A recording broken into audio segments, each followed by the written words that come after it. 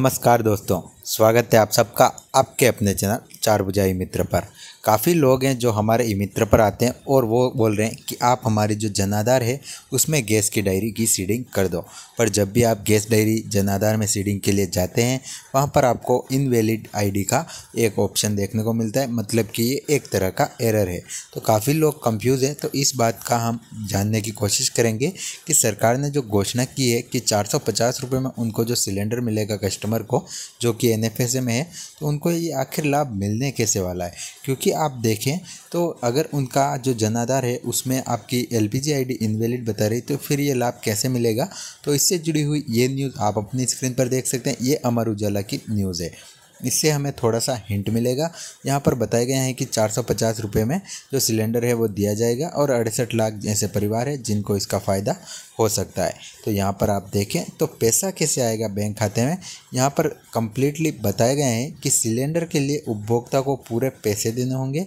इसके बदले सब्सिडी की राशि राज्य सरकार की ओर से उपभोक्ता के खाते में ट्रांसफ़र कर दी जाएगी। एलपीजी गैस कंपनियों के मार्फत सभी गैस उपभोक्ताओं के बैंक खाते सरकार के पास उपलब्ध है। मतलब कि जो भी परिवार एन में है, उनके अकाउंट नंबर पहले से ही गवर्नमेंट के पास है और ऐसे में जब उनके जो कनेक्शन है, जो उनके आधार सीडिंग होते हैं जैसे कि मैं आपको एक थोड़ा सा यहाँ पर समझने की कोशिश करेंगे, क्योंकि मैं आपको एक कंफर्म नहीं बता रहा हूँ, पर ज़्यादातर यही होने वाला है। क्योंकि आप देखें तो जनाधार में तो आपकी डायरी जुड़ने से रही, वहाँ पर ये एरर काफ़ी समय से चलता आ रहा है और इस एरर का अभी तक कोई सोल्यूशन नहीं आया। आप किसी भी तरह का वीडियो बना लें, कोई भी वीडियो देख लें, उसमें आपको बाद में जब जो नंबर है वो लगा के दूसरी तरफ़ क्लिक करते हैं, वो वाला ऑप्शन नहीं दिखाएँगे, क्योंकि वहाँ पर उनके भी इनवैलिड बताता है। तो इसका कोई ऑप्शन नहीं कस्टमर आईडी सब कुछ निकाल कर मैंने ट्राई कर लिया था। तो कुछ चीज़ें होती है जहाँ पर आपको हार माननी होती है, क्योंकि कुछ चीज़ें जब सही हो ही नहीं रही है तो फिर वहाँ पर आपको फालतू में टाइम बिगाड़ने का ऑप्शन ही नहीं होता। यहाँ पर आप देखें तो इसमें जो ऑप्शन रहने वाला है, मेरे हिसाब से मैं आपको बता रहा हूँ, जैसे कि आप अगर देखें तो किसी के नरेगा का जो पैसा आता है वो आप देखें तो उनका जो बी बैंक खाता होता है, जिसमें डीबीटी ऑन होती है, जो आपके पीएम किसान का पैसा आता है, वो भी डीबीटी के माध्यम से ही आता है।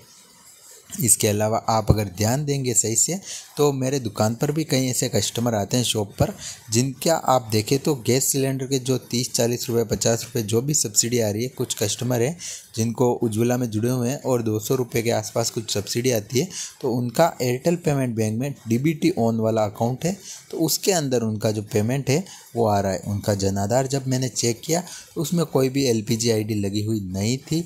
मतलब कि एक चीज़ तो क्लियर है कि आपको अलग से कोई ये सीडिंग करवाने की अभी ज़रूरत नहीं है, जब, जहाँ तक मुझे पता है। क्योंकि मैंने पूरा सही से देखा है उसमें एल पी जब भी हम सीडिंग करने जाएँगे, वहाँ पर आपका इनवैलिड बता देगा। तो आपको एक चीज़ ध्यान रखनी, अगर आप एन से परिवार से हैं, और आपको अगर गेहूँ मिलते हैं, और आपके जो कनेक्शन है, वो गैस का है तो उसमें आपको क्या करना, अपना सिलेंडर लेना है। और आपका जो भी मुखिया है, जिसके नाम पर ये गैस सिलेंडर है तो उसका आपको एक डी अकाउंट ओपन करवा लेना है। आपका किसी बैंक में अकाउंट है तो उसमें आपको डी ऑन कर लेनी है। डीबीटी ऑन है या नहीं, इसको कैसे जांचना है, उसका वीडियो मैंने पहले अपलोड कर रखा है। आप चाहें तो माई आधार की जो साइट है, उस पर जाकर भी आप इसे चेकआउट कर सकते हैं।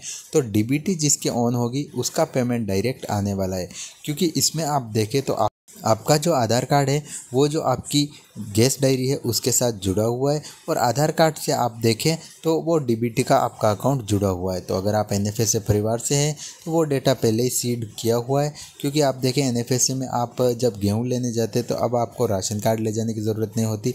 वहाँ पर आपका आधार से ही डेटा आ जाता है। तो ऐसे में आप देखें तो आपका जो पेमेंट है वो डीबीटी के माध्यम से आएगा। ऐसा कोई ऑप्शन नहीं है कि अलग से आप कहीं जाकर अपना जो इसे सीडिंग करवाएँ, ऐसी कोई समस्या नहीं है। क्योंकि अगर ऐसा कुछ होता तो हमारे ई मित्र पर ज़रूर आपको देखने को मिलता या फिर ई मित्र पर नोटिफिकेशन ज़रूर आता।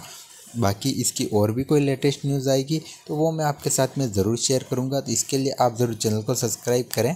बाकी ये थोड़ा सा वीडियो लंबा हो रहा है, मैं सिर्फ़ आपको यही समझाना चाहता हूँ मेरे पॉइंट ऑफ़ व्यू से, कि मतलब इसमें आपको ज़्यादा कुछ नहीं करना है। जिस भी मुखिया के नाम पर आपकी गैस सिलेंडर है तो जिसकी डायरी है, उसको एक अपना अकाउंट है, उसमें डीबीटी ऑन है या फिर नहीं, ये एक बार चेकआउट कर लेना है।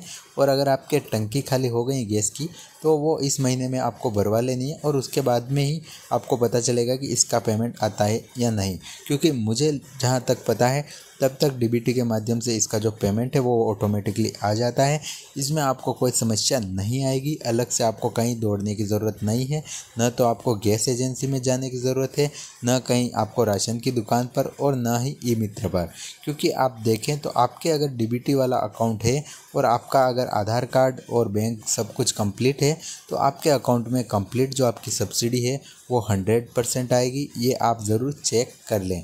बाकी इससे जुड़ी हुई और भी कोई अपडेट आएगी तो मैं आपके साथ में ज़रूर शेयर करूँगा। ये छोटी सी जानकारी थी, काफ़ी लोगों का कंफ्यूजन था और अभी के समय में जहाँ तक मुझे लग रहा है, ये वाला ही सॉल्यूशन रहने वाला है।